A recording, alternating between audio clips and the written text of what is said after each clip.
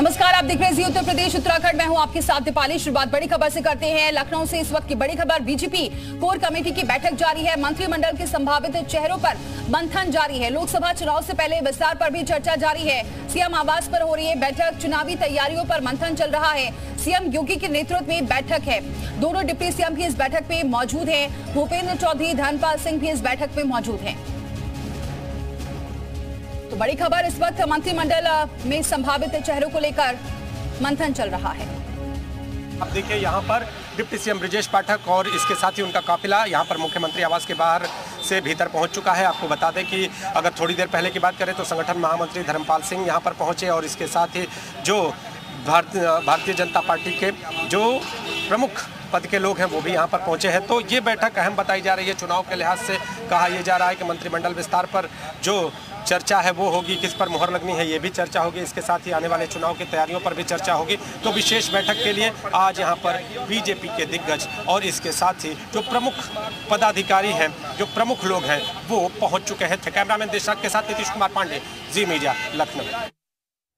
तो बैठक लगातार जारी है। नीतीश, हमारे साथ जुड़ चुके हैं। नीतीश, क्या अपडेट, कब से बैठक चल रही है और क्या माना जाए, जो खबरें चल रही हैं कि कल मंत्रिमंडल विस्तार हो सकता है, इसी को लेकर ये मंथन चल रहा है? देखिए, संभावनाएँ पूरी है और जो मंथन चल रहा है, वो कहीं ना कहीं इन संभावनाओं को अगर तस्वीर देता है तो वो भी तस्वीर सामने आ सकती है, लेकिन अभी सूत्रों के हवाले से ये जानकारी है। ये आपको बता दें कि बैठक जारी है। बैठक की तस्वीरें हम आपको बाहर से जो मुख्यमंत्री आवास है, उसकी तस्वीरें दिखाने का प्रयास करते हैं दीपाली। और इस बैठक में सीएम योगी इस बैठक की अध्यक्षता कर रहे हैं। इसके साथ ही अगर बात करें तो डिप्टी सीएम ब्रजेश पाठक यहाँ पर मौजूद हैं। डिप्टी सीएम केशव प्रसाद मौर्य और इसके साथ अगर बात करें तो संगठन महामंत्री धर्मपाल सिंह और बीजेपी प्रदेश अध्यक्ष जो है भूपेन्द्र चौधरी, ये सभी ये लोग यहाँ पर मौजूद हैं। और जिस तरह से तेरह सीटों को लेकर दीपाली, एक बात और आपको बता दूँ कि एमएलसी चुनाव की तेरह सीटें हैं और उनको लेकर भी यहाँ पर मंथन किया जा रहा है इस बैठक में। इसके अलावा अगर बात करें तो मंत्रिमंडल विस्तार को लेकर चर्चा हो रही है। आने वाला जो लोकसभा चुनाव है, उस चुनाव को किस तरह से गति प्रदान यहाँ पर प्रदान की जाए, अगर बात बात करें तो चुनाव संचालन समिति से जुड़े हुए लोग भी यहाँ पर इस बैठक में हैं। तो पूरी तरह से भारतीय जनता पार्टी आने वाले जो दिन है आने वाला जो समय है उसमें चुनाव को लेकर किस तरह से मज़बूत हो संगठन के स्तर पर किस तरह से मजबूती मिले और इसके साथ ही जो चुनाव की पूरी रणनीति है उस पर चर्चा हो रही है जो संभावित नाम चल रहे हैं जो संभावित नाम चल रहे हैं चाहे वो ओपी राजभर की बात करें आकाश सक्सेना की बात करते हैं या फिर हम बात करें दारा सिंह चौहान की, और भी कई नाम है, बहुत चर्चा का विषय है खासतौर से वो मुस्लिम चेहरे की भी बात की जा रही है। तो ऐसे में क्या लग रहा है, क्या कौन कौन से ऐसे संभावित नाम हो सकते हैं जिस पर मंथन चल रहा है, जिसमें राजपाल बालियान का भी नाम सामने आ रहा है, प्रदीप चौधरी का भी नाम सामने आ रहा है?